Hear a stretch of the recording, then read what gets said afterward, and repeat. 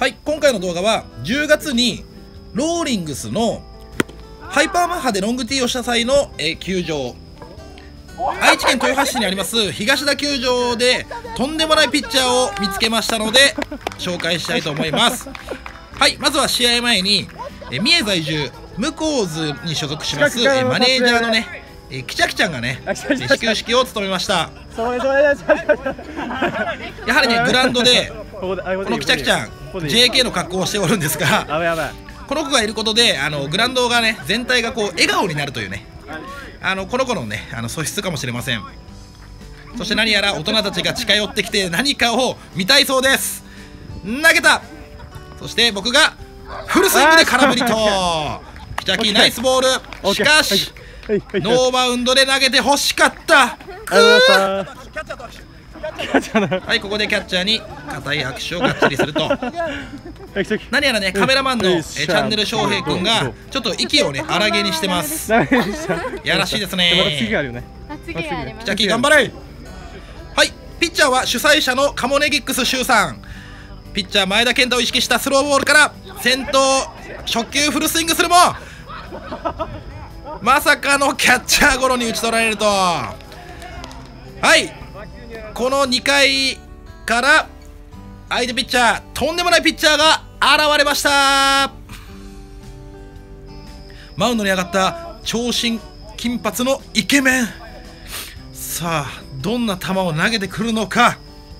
見ものです。まさかのど真ん中にこの快速球。久しぶりですね僕があのど真ん中を手が出なかったという感覚に陥れたの。そして2球目。この球がえげつない。多分フルスロットですね。高めに浮いちゃったんですが前澤より速いと僕はねあの打席で言っちゃいました。はいそして3球目4球目と続くんですがスライダー。まさかのキャッチャーが取れないほどの速さ。そして4球目。引っかかってしまい外れてしまい残念ながらフォアボールとなってしまいました。はい次のバッター。えチャンネル翔平君の打席。ランナー一塁に僕がいます。ナイスボール。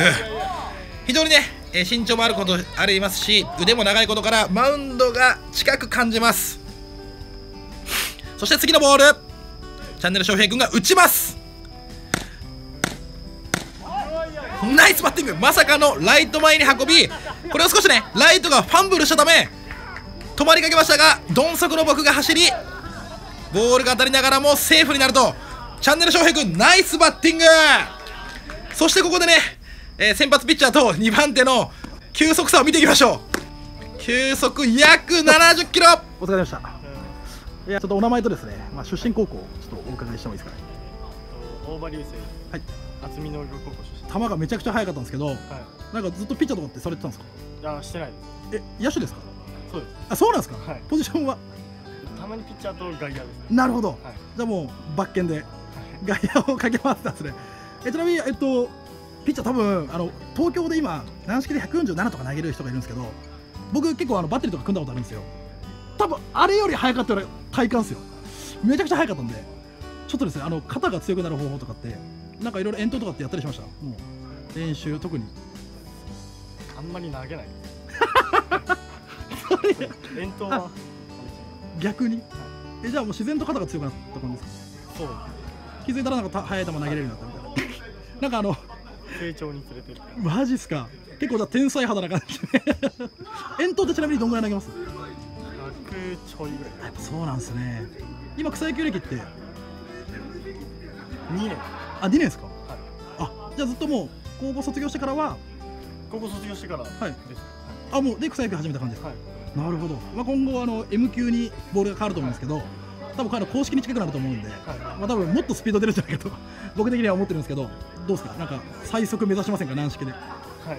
スピードガンとかはまだ測ったことはない。あないんですね、じゃあ今度ちょっと僕あの密着させてもらっていいですか？はい。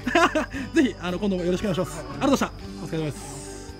インタビュー後に大場君が投げすぎないといってもやはりねあの遠投をしてね外野でしっかり型を作った結果球が速くなったんじゃないかとあの言ってました。ぜひね皆さんもね遠投をね地道に続けてみてはいかがでしょうか。大場くんありがとう！